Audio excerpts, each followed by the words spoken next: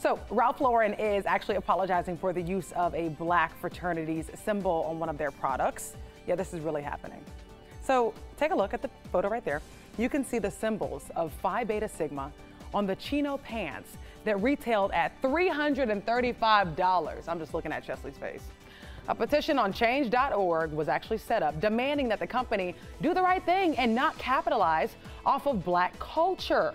The fashion brand has since pulled the product off of their website. But again, this is still a big talker. On that change.org website, it said, well, where are the royalties coming from? Who do they get permission from to even use this? Mm. And I'll be honest with you guys, I looked at Ralph Lauren's board of directors and I saw no position that included the word diversity. So mm. maybe this is going to be a moment where we see another position created. Oh. This is a moment where they're going to pay some money. That, that's that's where yeah. they're going to be sued for this, no doubt about it um, there, there, are some things that are earned, not given, mm-hmm. right? And so uh, I, I, can understand the men of uh, Phi Beta Sigma being upset about it, and uh, if, if, I was in the position, I'd probably do the same thing. Yeah. yeah. So the issue here is Ralph Lauren selling the merchandise mm-hmm. and not giving the fraternity money off the sales. Not is that the issue right. here? Yeah. Well, and first of all, he would, he would have to get culture? permission to do it. They own the rights to those letters in that order.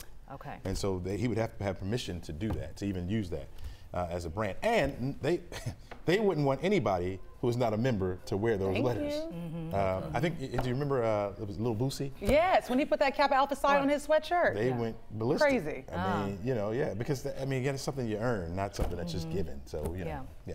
Interesting here, it was on their French website. Right. So. but again, no excuse. These organizations you know? are worldwide. Okay. Yeah, they're all yeah. over the world. So, you know, that's not an excuse. Mm. There you have it. We want to hear what you think about it as well. Use the hashtag Morning Rush ATL. It is 510 right now.